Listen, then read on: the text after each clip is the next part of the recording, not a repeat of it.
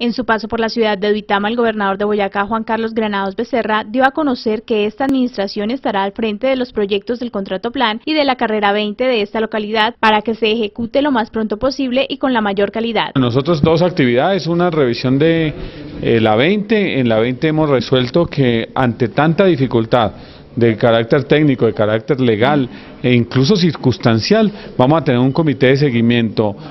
por el primer mes cada ocho días, los lunes a las ocho y media de la mañana en la Cámara de Comercio, donde asistirá la administración departamental, donde invitaremos a la municipal, pero estará el contratista, la interventoría y quienes sean necesarios, además de la comunidad a través de las veedurías. Eh, vamos a estar muy encima de eso para poder lograr sacar al otro lado un proyecto que tiene y ha tenido mucha dificultad. Y lo segundo, estábamos revisando los corredores viales de eh, especialmente Duitama Charalá, Puente Lata El Espino, la inversión en Sogamoso y en el lago de Tota.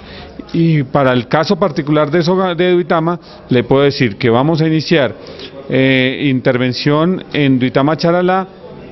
a partir del punto 6.7, de, de 6 kilómetros punto 7 en adelante, y por otro lado vamos a tener unas obras preliminares de contención de unos muros que se necesitan entre el punto cero y el punto y Santa Ana, mejor dicho. Durante esta visita el gobernador dio a conocer que se firmó un importante convenio con el Ministerio de Agricultura que le abre importantes inversiones para esta región en este importante sector de la economía del departamento.